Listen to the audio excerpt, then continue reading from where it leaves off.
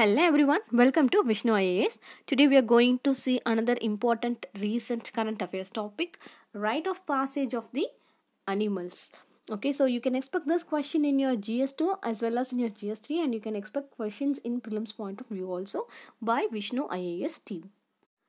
Let's see what is there in the news. Recently, Supreme Court has confirmed the order of Madras High Court. Okay, so that is the 2011 order of the Madras High Court on the Nilgiris Elephant Corridor, saying that right of passage of the animals and closure of resorts in the area.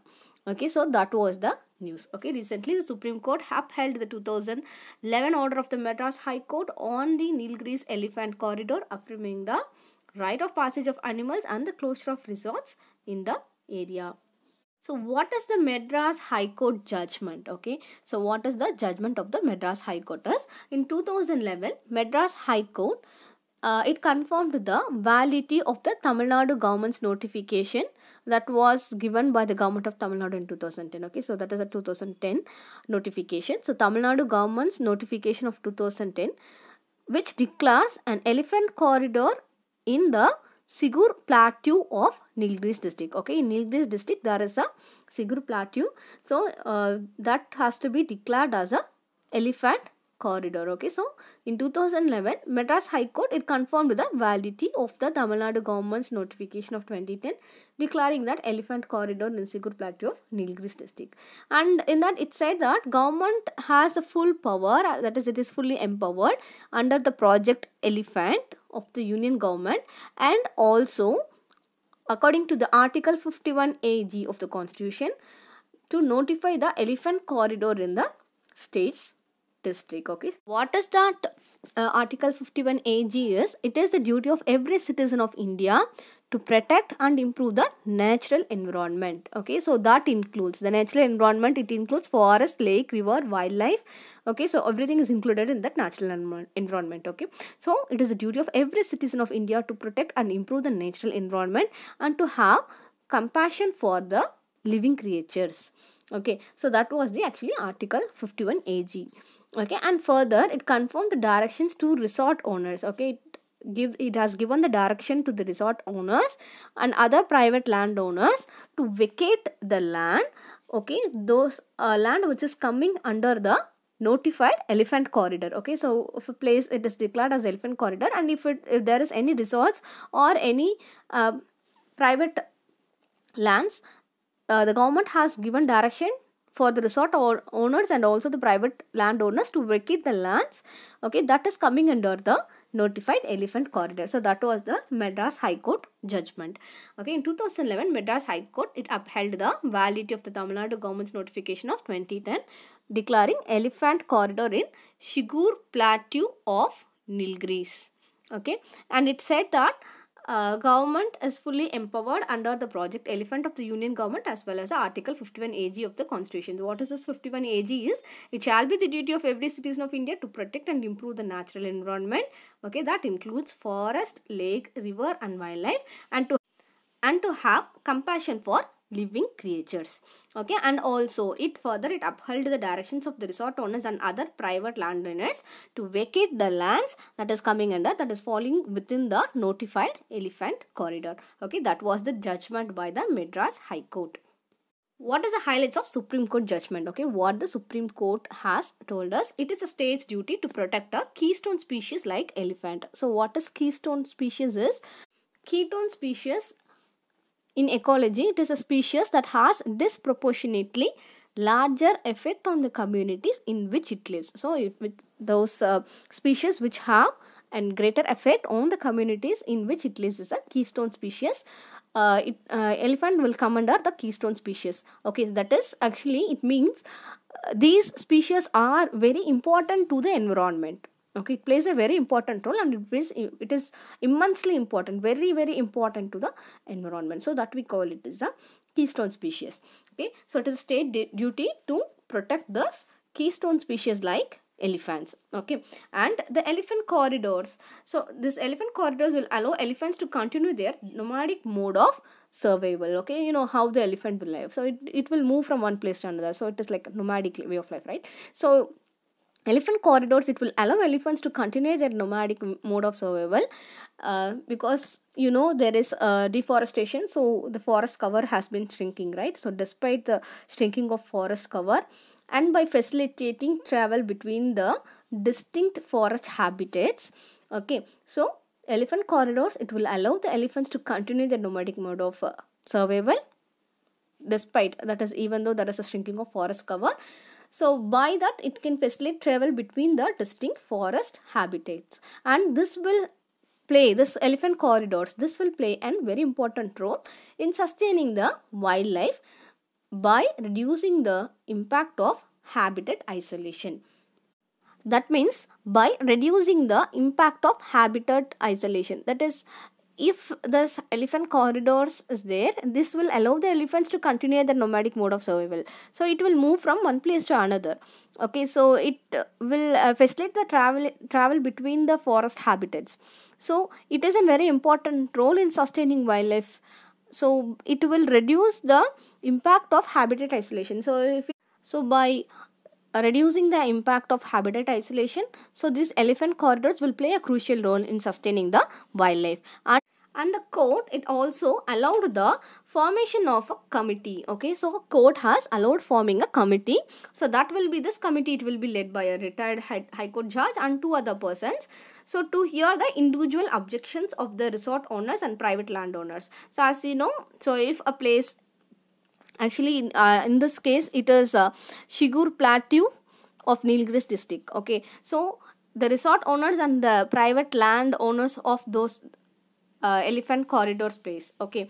So within uh, those uh, land owners and the resort owners within the corridor space so in order to hear these persons objections there will be a committee that will be headed by a high court judge and two other persons to hear the objections of these people and also however during these hearings the supreme court opined that area is a fragile ecosystem. So uh, the court is recommending uh, the men must give way to elephants. Okay, so that was the uh, highlights of the Supreme Court judgment. Okay.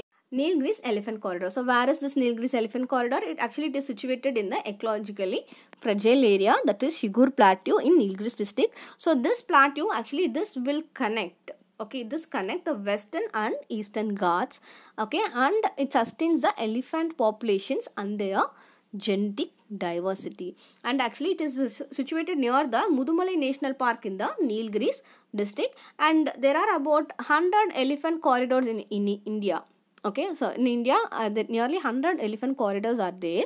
So in which almost 70 are used 70% of those elephant corridors are used regularly by the elephants. Okay so 75 percentage of the corridors uh, are in south uh, southern central and the northeastern forest of india.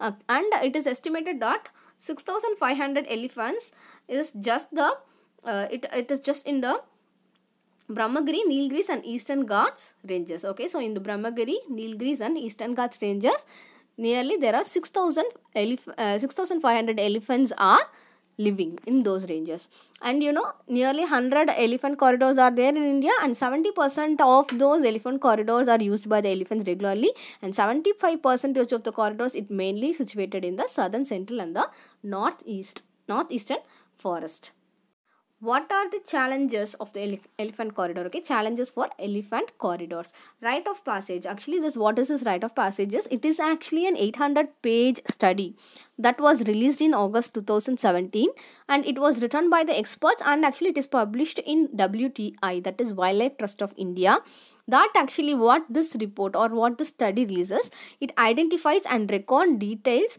pertaining to 101 elephant corridors across india.